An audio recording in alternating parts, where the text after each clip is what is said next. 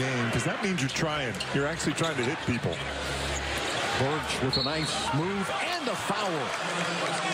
What a head fake. Brought a little space. Picked up three early fouls in the first quarter.